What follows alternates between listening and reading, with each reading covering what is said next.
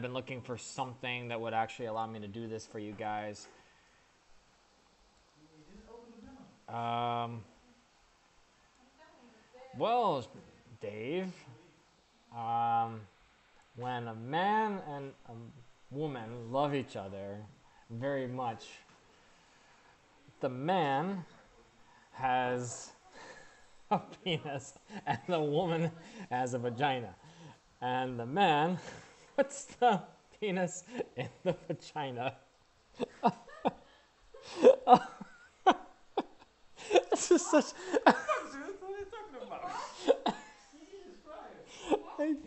oh shit! All right, that that just. All right, I hope you guys enjoyed that.